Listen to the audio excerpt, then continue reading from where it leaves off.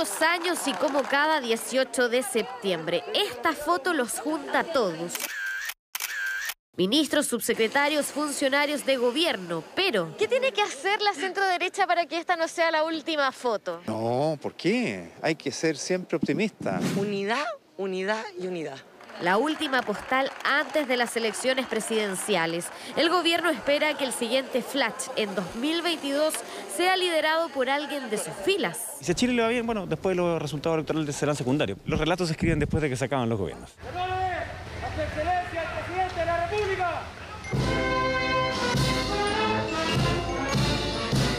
Efectivamente, aún le queda rollo fotográfico al gobierno para cerrar su historia. La siguiente foto fue a unas cuadras de Palacio, la Catedral de Santiago. El Tedeum ecuménico junto a las autoridades de los tres poderes del Estado.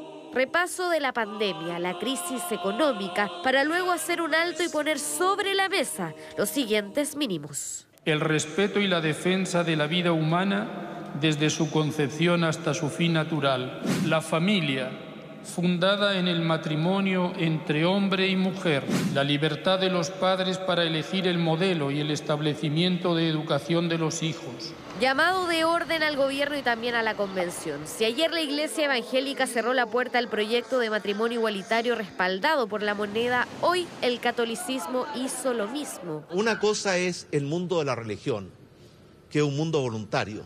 Otra cosa es el mundo laico, el mundo de las leyes, que es obligatorio para todos. Y yo creo que la ley tiene que proteger a todas las familias. El matrimonio igualitario divide a Chile Podemos Más y tensiona a su candidato presidencial Sebastián Sichel. Su apoyo a la iniciativa llevó a que diputados como el RN Leonidas Romero respalden al líder del Partido Republicano José Antonio Cast. Se respeta la libertad, como se decía, de cada uno pero que cada, que cada persona se informe bien respecto de quiénes son los candidatos y cuáles son los planteamientos. Es un tono respetuoso, eh, inclusivo y habló también del respeto de todas las creencias y visiones. Y creo que eso es lo que hay que destacar.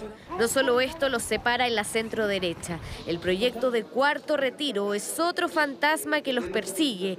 A puertas del anuncio de la ley corta de pensiones, ¿el gobierno frenará este 10%? Dado que tenemos todas las ayudas desplegadas, creemos que no es el momento de avanzar en ese tipo de proyecto, sino que hay que pensar más en el mediano plazo, ser responsable y sobre todo pensar en pensiones. La derecha no descarta presentar modificaciones al matrimonio igualitario, una de las iniciativas claves para el gobierno y también para el futuro de su sector, en que la unidad será la llave para que esta foto no sea la última.